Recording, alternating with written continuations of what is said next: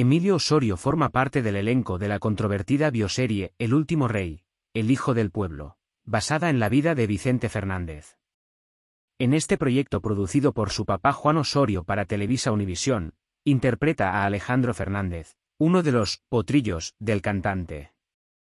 El joven actor ha recibido muchas críticas negativas y ante eso, su mamá, la vedette cubana Niurka Marcos salió en su defensa. Como toda mamá, sacó las uñas y dientes para defender a su hijo. La exesposa del productor de televisión Juan Osorio, manifestó en una charla con unos medios de comunicación, que Emilio Osorio está haciendo un trabajo al lado del papá que es un gran maestro y además, tiene un equipo de personas con mucha experiencia que lo está enseñando. Él es como su mamá, un gran alumno. Niurka externó que las críticas negativas y que no son constructivas, que no aportan nada, son críticas desfasadas, ofensivas y molestas, lo único que detonan es el termostato de tu éxito.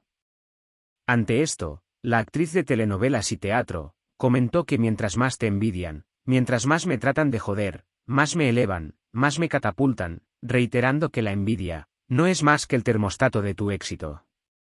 La familia de Vicente Fernández y Televisa Univisión protagonizan una disputa legal por El último rey, el hijo del pueblo, ya que los familiares, entre ellos doña Cuquita, viuda de El charro de Huentitán, han manifestado que la televisora no tiene los derechos para usar la imagen del patriarca de la dinastía Fernández, además, de que lo están haciendo con fines de lucro.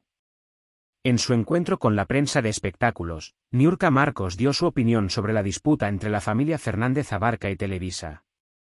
Creo que los ejecutivos no se van a aventar al ruedo sin tener cimientos, no los subestimemos, porque son lobos viejos de nuestros bosques, están acostumbradas a esta guerra, serían muy pen, si los subestimaran. Por otra parte, en una entrevista con Javier Poza para su espacio radiofónico en Grupo Fórmula, Juan Osorio destacó el buen trabajo actoral que ha hecho su hijo Emilio en este proyecto.